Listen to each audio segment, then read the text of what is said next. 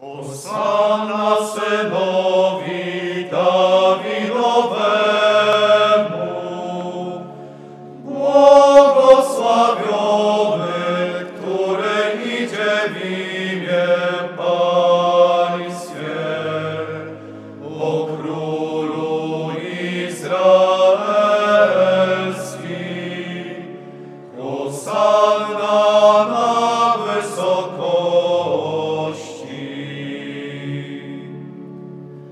Hosanna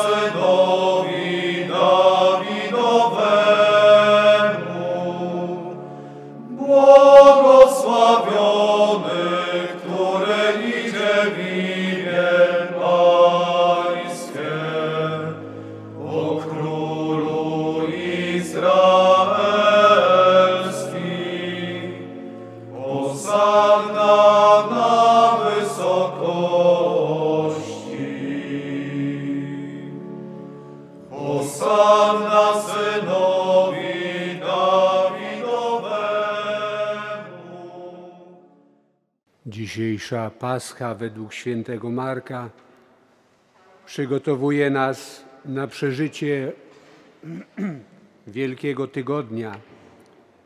Jest to najważniejszy tydzień w całym roku liturgicznym.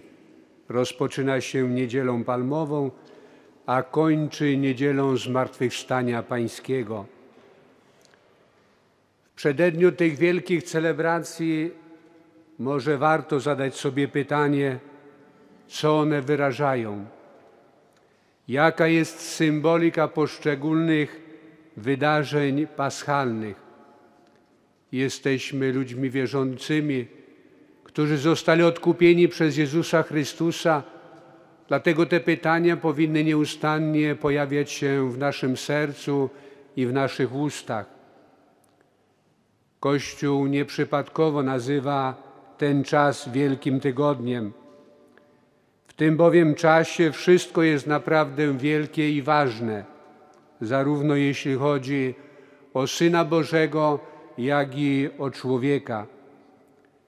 Wielki Tydzień jest najgłębszą syntezą historii człowieka wpisanej w historię Syna Bożego i w historię Jego, Jego niekończącej się miłości do człowieka. Dlatego ewangelista zaprasza nas, abyśmy wsłuchali się w tę niepowtarzalną historię Syna Bożego, który dla naszego zbawienia zawisł na krzyżu. W tym duchu już na samym początku dzisiejszej liturgii usłyszeliśmy słowa zachęty. W dniu dzisiejszym gromadzimy się, aby cały z całym Kościołem rozpocząć obchód misterium paschalnego. Dzisiaj Chrystus wjechał do Jerozolimy, aby tam umrzeć i zmartwychwstać. Wspominając to zbawcze wydarzenie, z głęboką wiarą i pobożnością pójdźmy za Panem, abyśmy uczestnicząc w tajemnicy Jego krzyża, dostąpili udziału w zmartwychwstaniu i w Jego życiu. Tak nas zachęcała liturgia na początku przed procesją z palmami. Męka i zmartwychwstanie Jezusa jest dopełnieniem całej Jego misji. Misja pisał kiedyś papież Benedykt XVI, dla której Jezus przybył do nas, osiąga swoje spełnienie właśnie w tajemnicy paschalnej. Z wysokości krzyża, z którego przyciąga wszystkich do siebie, zanim odda ducha, mówi: Wykonało się. W tajemnicy Jego posłuszeństwa aż do śmierci i to śmierci krzyżowej spełnia się nowe i wieczne przymierze. W Jego śmierci na krzyżu dokonuje się owo zwrócenie się Boga przeciwko samemu sobie, poprzez które On ofiaruje siebie, aby podnieść człowieka i zbawić go. Jest to miłość wyrażona w najbardziej radykalny sposób przypomina papież Benedykt. A my możemy powiedzieć, jakże niewiarygodnie brzmią te słowa. Jezus podejmuje krzyż, aby przyciągnąć wszystkich ku sobie. W tajemnicy śmierci dokonuje się nowe i wieczne przymierze między Bogiem i człowiekiem. W krzyżu człowiek jest wyzwolony z grzechu, podniesiony do godności i ukierunkowany ku zbawieniu. Oto wielka prawda o miłości Boga do człowieka i o człowieku, który tej miłości tak bardzo potrzebuje. Do przeniknięcia w głąb tej tajemnicy zaprasza nas dzisiaj sam Chrystus. On sam, on sam chce nam opowiadać o swojej męce, o swojej śmierci i o swoim zmartwychwstaniu. Nie da się jednak jej zrozumieć ani zgłębić, jeśli w tych dniach się nie zatrzymamy, jeśli nie wyciszymy własnego serca, jeśli się nie wyobcujemy z tego hałasu, który tak mocno rozbrzmiewa wokół nas. A więc zatrzymajmy się, mówi nam nieustannie dzisiejsza liturgia. Zatrzymajmy się i spójrzmy na krzyż. Tę prawdę trzeba naprawdę do głębi przeżyć. Do tego nas przygotowywał cały Wielki Post, kiedy zachęcał do nawrócenia, kiedy mówił nam o potrzebie otwarcia naszego serca na Słowo Boże, kiedy mówił o potrzebie wyjścia na pustynię, miejsce ciszy, gdzie milknie wszelki hałas i zgiełk, i gdzie możemy doświadczyć bliskości Boga i wsłuchać się w Jego szept skierowany ku każdemu z nas. Dzisiaj stajemy wobec Paschy, która oznacza przejście, która oznacza wyzwolenie. Symbolem jej było złożenie w ofierze baranka. Dla Jezusa była ona pamiątką wyzwolenia narodu, narodu izraelskiego z niewoli egipskiej.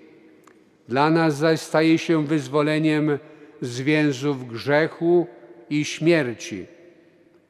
Pascha, którą Jezus celebruje, nabiera więc nowego znaczenia.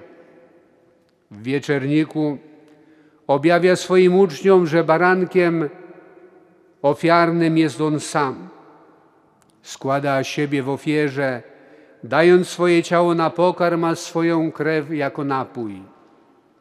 Jest to początek nowego i wiecznego przymierza między Bogiem i człowiekiem, między Bogiem i każdym z nas. Jest to początek nowego przymierza, początek naszego wyzwolenia z grzechu i śmierci. Przez ofiarę Jezusa na krzyżu Bóg nas wybrał, ponownie wybrał i pojednał ze sobą. Fundamentem tego nowego wyboru jest Jego krzyż, a, a najwspanialszym symbolem jest właśnie samo ukrzyżowanie. Od tej chwili jesteśmy ludem odkupionym w Chrystusie przez Jego krew przez krew przelaną na krzyżu. Odtąd płynie dla nas wielkie zobowiązanie, bo ta krew obmyła nas z grzechów i ta krew daje nam nowe życie. To właśnie tu znajdujemy potwierdzenie prawdy, iż Wielki Tydzień jest historią naszego odkupienia, który jest wydarzeniem sprzed dwóch tysięcy lat ale też i wydarzeniem, które nieustannie dokonuje się dzisiaj w życiu każdego z nas. Męka Jezusa Chrystusa trwa nieustannie, trwa wciąż, odnawia się w każdym uczniu, w każdym człowieku, który grzeszy, który upada, ale który się podnosi i nieustannie szuka Boga. Krzyż pozwala, pozwala nam odnaleźć nasze miejsce przy Chrystusie i odnaleźć nasze nowe życie w Nim, który umarł za nas i zmartwychwstał. Pascha to nasze wyzwolenie, to nasza całkowita przemiana. Czy stać nas na to? Czy jesteśmy dzisiaj gotowi, aby odpowiedzieć Chrystusowi, że chcemy zmienić nasze życie? Czy stać nas na to, aby w tych dniach podziękować Jezusowi za dar Jego życia na krzyżu? Moje sumienie nie pozwala mi iść tak dalej. Dlatego postanawiam zmienić moje życie. Postanawiam przyłożyć się do mojego krzyża. Postanawiam go objąć tak, jak go obejmował Jezus. I tym razem podjąć go i naprawdę ponieść. Ponieść z odpowiedzialnością i z odwagą. Postanawiam i w tym postanowieniu się nie cofnę.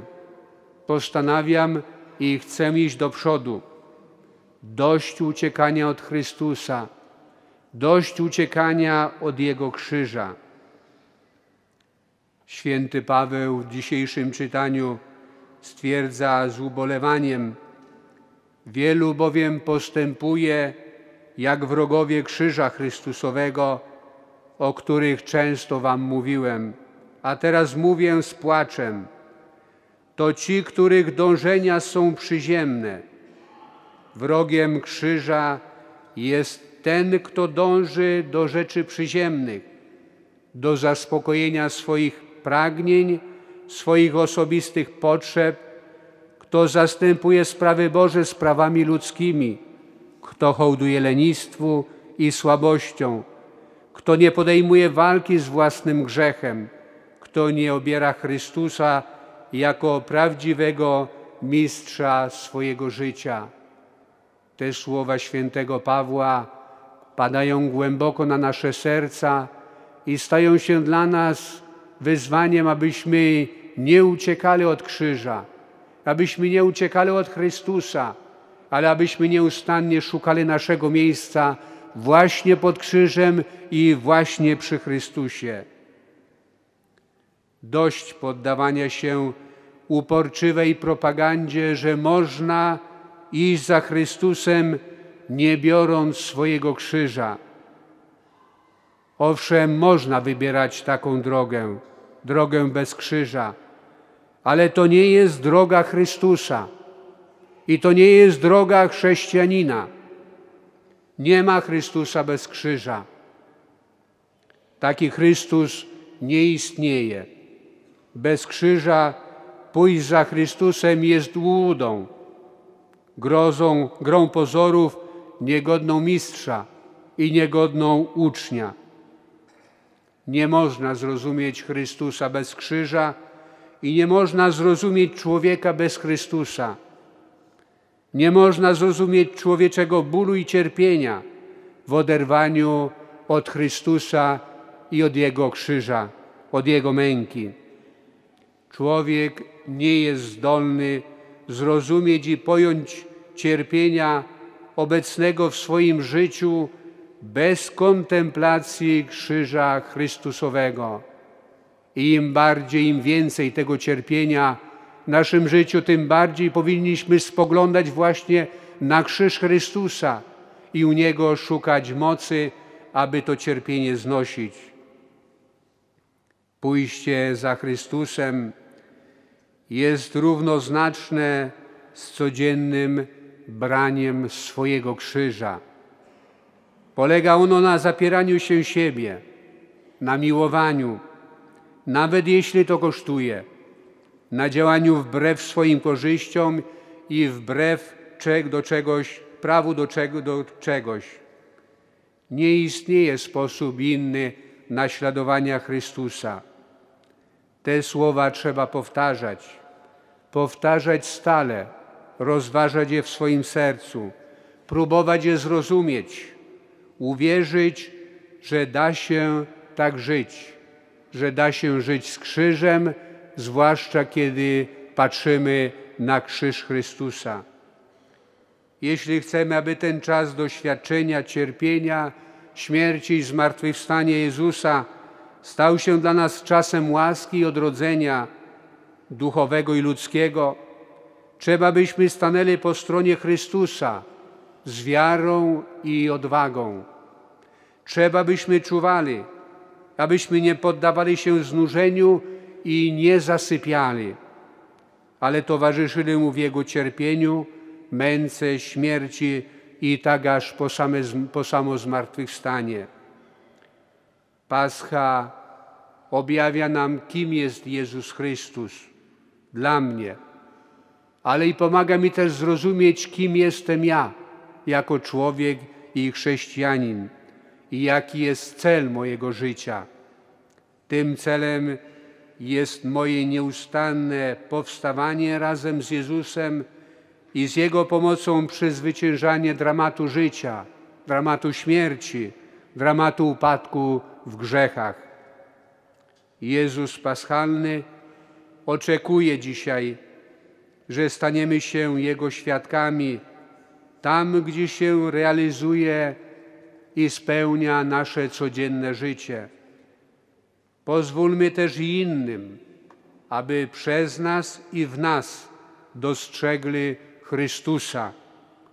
Tak jak pewien pielgrzym po powrocie z wioski Ars, gdzie pracował dzielny proboszcz, powiedział o nim do swoich bliskich: Widziałem Chrystusa obecnego w człowieku. Pozwól, drogi chrześcijaninie, aby każdy, kto patrzy na Ciebie, na Twoje codzienne życie, życie złączone z Jezusem Chrystusem, aby mógł również o Tobie powiedzieć: Widziałem Chrystusa w życiu obecnego w człowieku. A na zakończenie tych naszych dzisiejszych rozważań jeszcze raz sam Chrystus chce nam skierować do nas te słowa, które w tych dniach będzie częściej powtarzał. Nikt nie ma większej miłości nad tę, gdy ktoś życie oddaje swoje za przyjaciół swoich. Wy jesteście przyjaciółmi moimi. Odpowiedzmy Chrystusowi, co nam te słowa dzisiaj mówią. Amen.